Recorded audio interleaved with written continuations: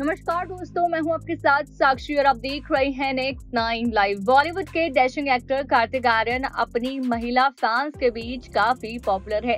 किसी भी public place पर कार्तिक नज़र आ जाए तो बस उनके चाहने वाले उन्हें घेर कर खड़े हो जाते हैं। वहीं एक्टर का एक वीडियो वायरल हो रहा है, जिसमें वो जोधपुर एयरपोर्ट पर नज़र आ रहे हैं। इस वीडियो में एक नन्ना फ़ैन भी कार्तिक से मिलने के लिए रो पड़ा और फिर क्या हुआ आगे बताते हैं। दरअसल हाल ही में कार्तिक आर्यन जोधपुर एक इवेंट के लिए पहुँचे थे। एयरपोर्ट से जब वो मुंबई के लिए वापसी कर रहे थे तो उन्हें देखने के लिए भी भीड़ जुट गई। सिक्योरिटी टाइट होने के चलते उनके फैंस उनसे मिलने ही नहीं पा रहे थे। कार्तिक के एक अन्य फ़ैन ने एयरपोर्ट पर ज़ोर से उन्हें आवाज़ लगाई और कार्तिक से मिलने के लिए रो पड़ा।